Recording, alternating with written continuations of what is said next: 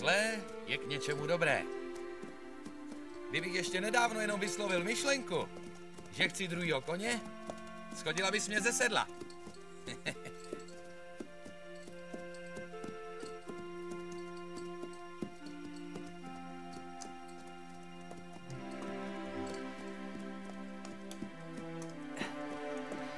Až se budeme stěhovat příště, tak si musíme pořídit další tři koně.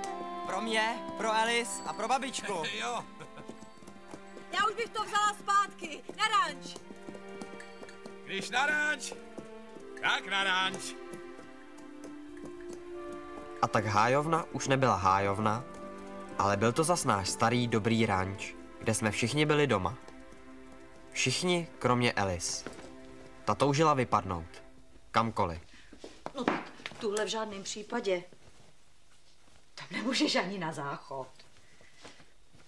A v tomhle snad jo. V tom nemůžu ani na chodbu. Nesmíš na noc moc pít, děvenko. Doufám, Eliško, že se na tebe mohu spolehnout. A pamatuj na úmluvu platnou v naší rodině, než strávíš noc chlapce, musíš předem zavolat. Obratili s mami, ano? Tak jsem se díval na ten malý slovník. Tam nenajdeš jediné slovo z oblasti výpočetní techniky. To mám sebou vláčet tohleto. Jen si to vem všechno, Alice. Budeš nejchytřejší. Já tě... Au. Eliško, ne, toho. Já, ale oba. No tak.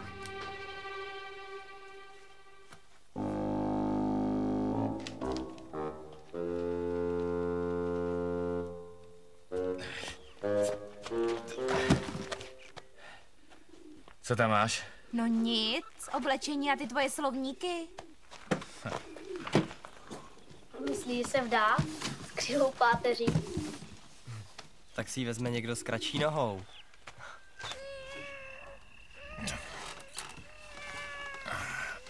To je dům hrůzy tohleto. Táhnou se za ní kocouři z celého okolí. To se ke mně lísá, když chce kytekat. A pak každou noc někým jiným. Ty Vojto, že jsme ji vychovali dobře. Ne, Vojto, je to pobělice. jak to mluvíš o vlastní dceři? Mluvím o naší kočce. Láká jí svoboda jedince a život v souladu s přírodou. A teď jsi mluvil o dceři nebo o kočce? Ovšem, že o dceři. Tohle jsme ji vštípili my, ale to již nemůžete přiznat. Vše nasvědčovalo tomu, že na kurzu byli samí slušní chlapci a že naše Eli skutečně pilně studovala. Dobrý den, mladá paní, nesu vám psaníčko. Od Elišky. Děkuju, pane Málek. Naschledanou. Naschle.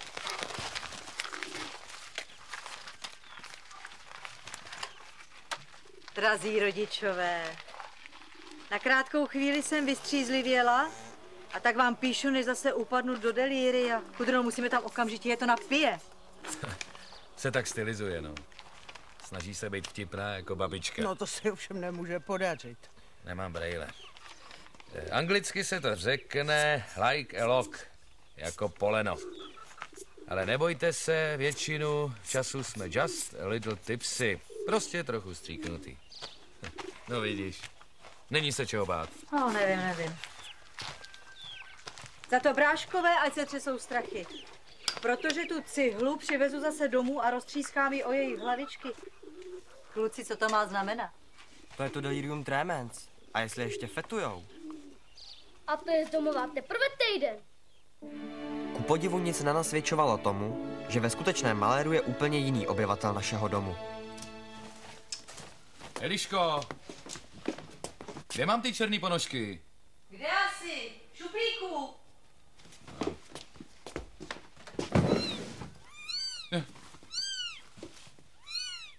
Eliško? Oni ty ponožky mňoukaj. Yeah. Tak se o ně hezky stará. No, jako ty. Hello Alice, tak šetříme na přilbu, ale myslíme si, že bys nám měla odpustit. Neboť nevadí, že si odjela na kurz outěžkem, důležité je, aby se s ním nevrátila. Co je to outěžek? No, mimino ne. Tak Vojto, ponožky budeš mít teďko v pokoji, v krabici, tady na skříň. Soustřed se, Co? A nemohly by ty kočky bydlet v krabici a ponožky v šuplíku? nebuď sobec.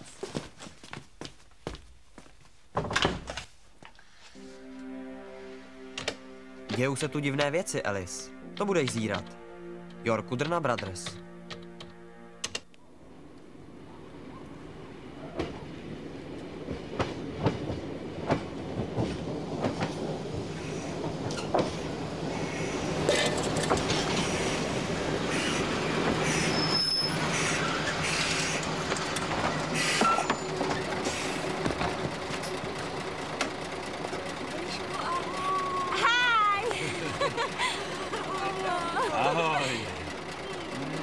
Jsme ti přišli pomoct s kufrem.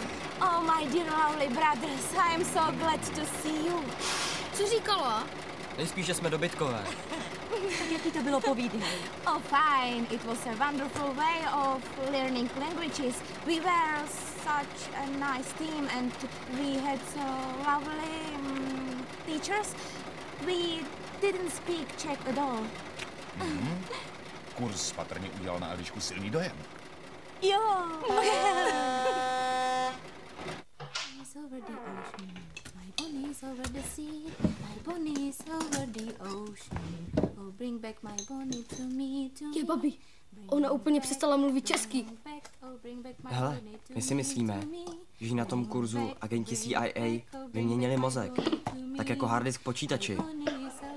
To je jedna možnost. Ale pravděpodobnější je, že se nám tam Eli zamilovala. Alice, ty jsi ještě neviděla, pojď se na ně podívat, na čičinky malý. Oh, lovely kitties. Mm. Mm. Very nice. Eliško, Very pojď sem, pojď sem. nice. Zkus říct koťátko. Koťátko. Tak alespoň to zkus. Generace českých buditelů po léta křísili český jazyk proti germánskému živlu, až ho nakonec vzkřísili. Oh, take it easy, Dad.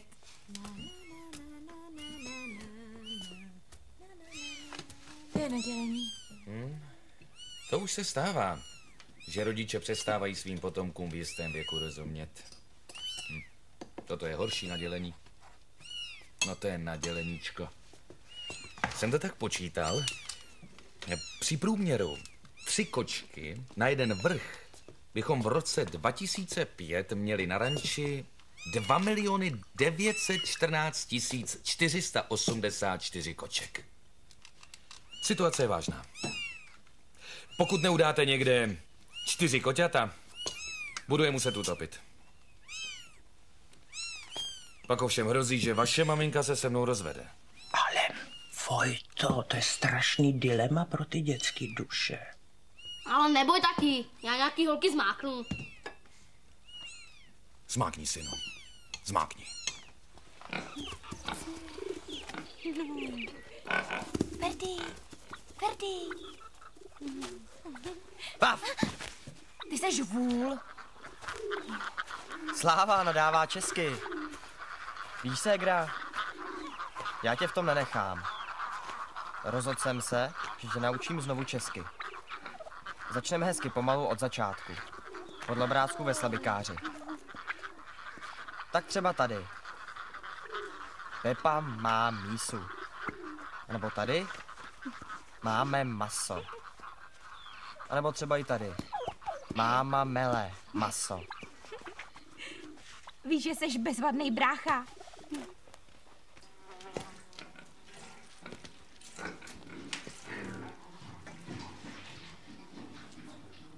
Já nevím, jestli si to uvědomuješ, ale za levej cecík taháš víc než za pravej. Potřebuješ něco? Tak já jsem se tě jen přišla zeptat, jestli náhodou nemáš nějaký svatební šaty. Cože? Ne, tati, klidně pokračuj, mám to za stolik nespěchá. Počkej. Ty něco víš, ona ti něco řekla? Kdo? Elis. Ale to mi nemusíš nic říkat, na ty to přece vidím. Počkej, ty myslíš, že... No to víš, že jo, našla si kluka. Hele, ani předtím nezavolala. I kdyby.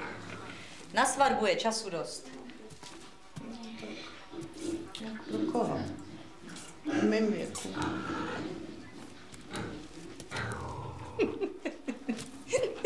No, tak já, já teda nevím, co je tady k smíchu. Ale já nemusím, ale chci. Počkej. To je jako vážně? Hele, já už jsem z toho mopedu celá vytřesená. A toho benzínu, co to sežere při mém důchodu. Mi to řekneš takhle při dojení. No a kdy? Čas. Odjíždím za snoubencem.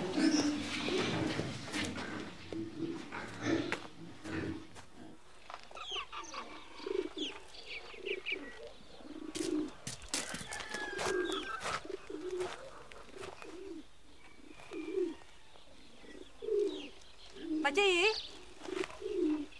Štěpáne!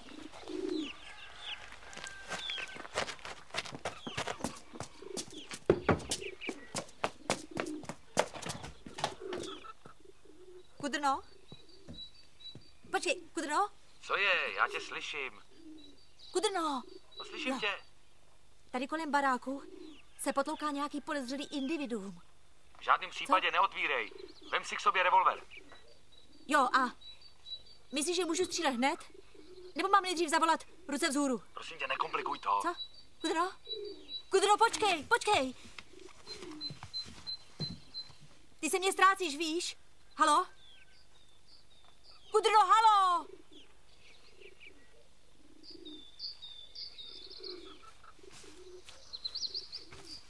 Kudrno! Slyšíš mě? Hello, hello. Uh, is this the house of Kuderna? On už je tady. A myslím, že se mě anglicky ptá, jestli je to Kudrnův dům. Tak řekni, že nevíš. My se vracíme, neboj, jsme tam hned. Kudrno? On si mě filmuje. Už to není to divný, že sedím na střeše a nevím, či je to dům. Tím se nezabývej. Když já nevím, jak se to anglicky řekne. Řekni, I don't know. Elis, musíme domů. Maminku filmuje nějaké anglicky hovořící individuum. Mami, mami, to je Mike. V žádném případě nestřílej, rozumíš? To je můj americký lektor. You! American lektor? Yes, yes. Hi, I'm I'm Michael Mauser. Hello. Ahoj! Stůj, stůj, stůj.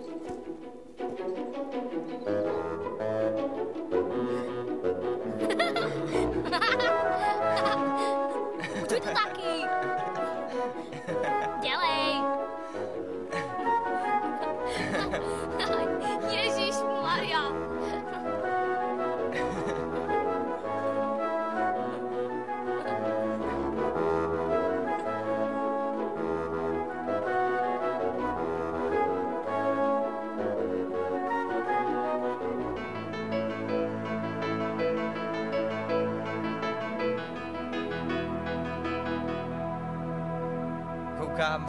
bude muset někde udat.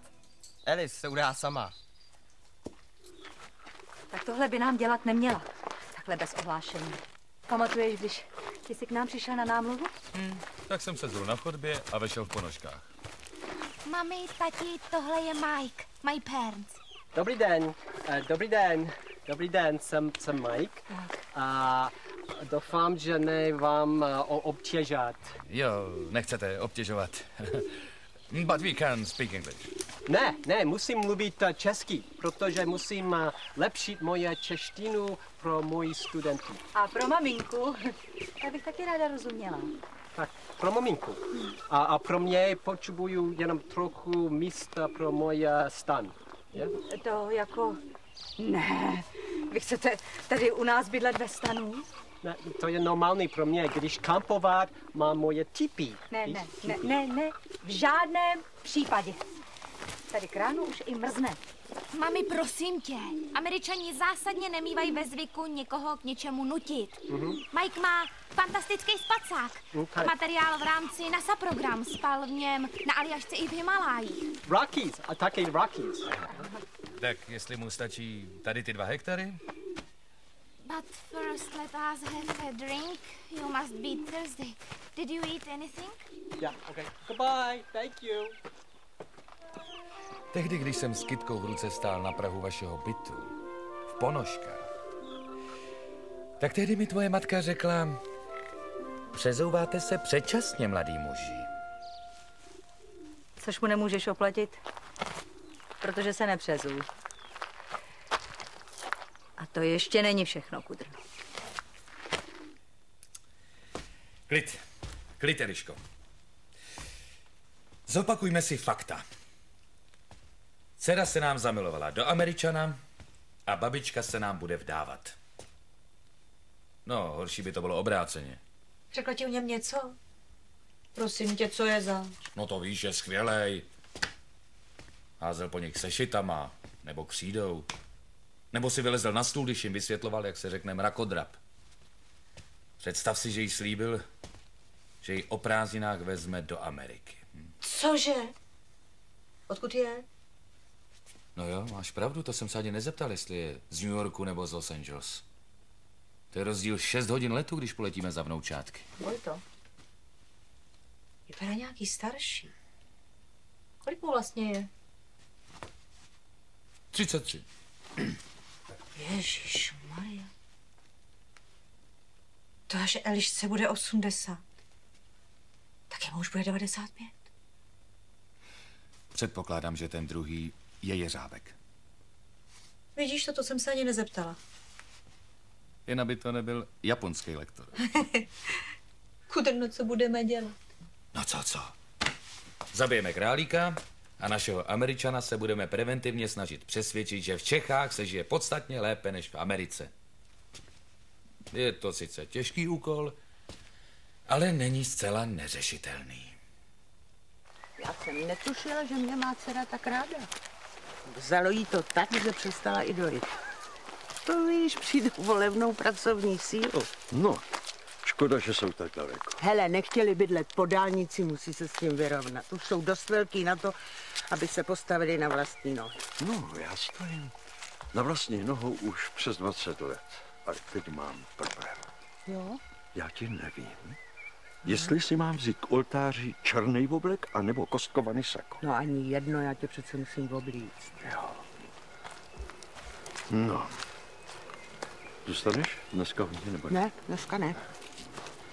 Já jsem zvědavá, co na tu naši svatbu řekne Vojta. Já totiž čekám problém. Jaký? No. Já nevím, kdo ráno bude otvírat slepici. Je to paradox. Ale jako příslušníci velkého národa jsou vlastně podobní Rusům. Jsou nabubřelí, nafoukaní a nevkusní. A navíc jsou povrchní. A zabili nám Vinetu. Navíc.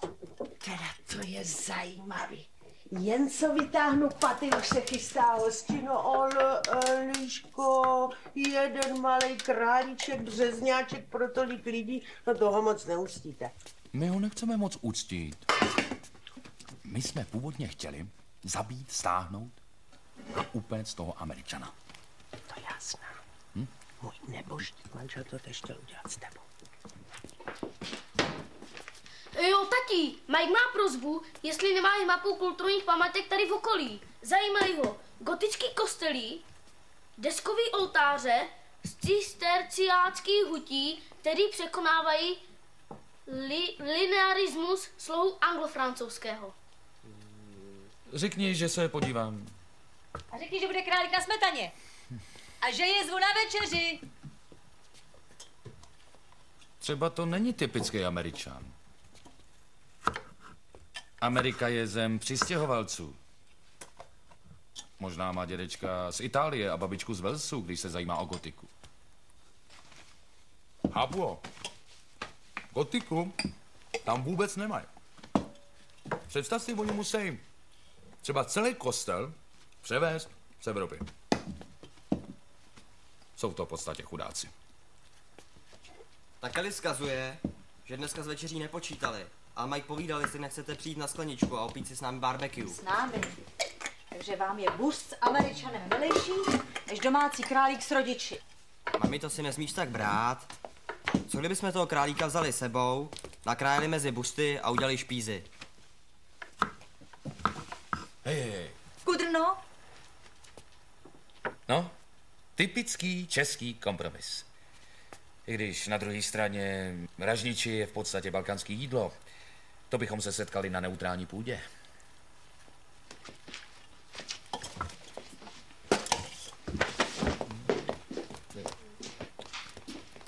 Ej, hora, hora! Ej, hora, hora! Vysoká hora! Vysoká škola! A z tej horečky někdo mě volá. A z tej horečky někdo mě volá. La, la, la. OK. Ale co to znamená? Hey mountain, mountain, very big mountain. Um, from this mountain, Hi, mountain. Hi, I am babička. I'm Mike. Hello. Těči mě. Máte výbornou výslovnost, nepocházíte od Missouri? Missouri? Missouri? She is crazy a little bit. Uh, our enfant table. Don't take her serious. Ale to je typický český humor, Ne, že jo? to je typicky český hlad. Ale mám rád český humor. Například mám knihu Dobré voják švejk a to je, myslím, že to je typický český humor, že jo? No, Svým způsobem je to český humor. Ovšem z do Rakouska-Uherska. Otázka zní, bude-li kompatibilní se Severoatlantickou aliancí. A tak zdálo se mi, že vše se v dobré obrátilo. Že mezinárodní konflikt byl zažehnán a králík nezemřel zbytečně. Myslím, že zejména v Americe si všichni oddechli. no, už je pozdě. Tak děti spát.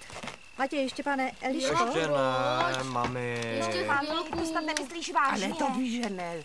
Tohle je příklad dalšího českého humoru. A tomu se říká mateřský. Mami, prosím tě. My tady takhle žertujeme pořád. Zkoušíme, co kdo vydrží. To? No, Tak dost! No, tak, děkujeme za hezký večer. Eliška s Majkem si ještě zopakuje gramatiku a pak přijde, že? Tak, dobrou noc. dobrou noc. Dobrou, babi. Dobrou. Kluci, kluci. Cože? No to Kolik snad chodí se mi zpátky jenom nejdřív?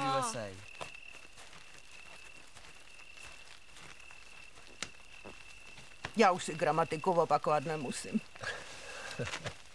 Bye. Bye.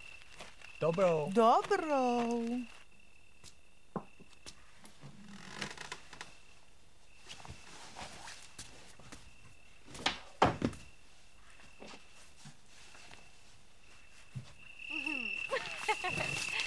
Boys, don't forget.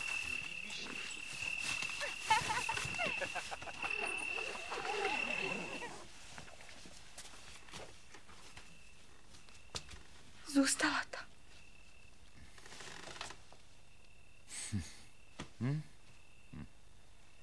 Pořád přemýšlím. Pamatuješ, když jsem tenkrát stál bos s kytkou na Prahu vašeho bytu? A tvoje matka mi tenkrát řekla, přezouváte se předčasně, mladý muži. Pamatuješ, co jsem tenkrát odpověděl? Nic. Nic si neodpověděl. Ale Alice se narodila za šest měsíců. Alice. Alice! Eliško, je to dobrý. Baterka se vrací k domu. Sám se divím, jak jsme jí to vychovali.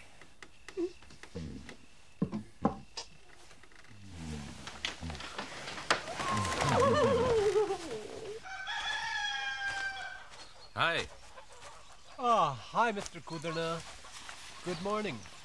Dobré ráno. Aha, Dobré ráno. Tady vám moje žena posílá trochu čerstvě nadojeného kozího mléka. Milk? Já, milk. Kozí, kozí, kozy... Go. Go, go, Já, já, já, já, já. Ale nemusíte, jenom kdybyste chtěl. Tak co? Je tady hezky v Čechách? Je hezký. Je velmi hezký tady. Mám pro vás knížku o renesanci, gotice a baroku v Čechách. Jo? Mhm. Thank you.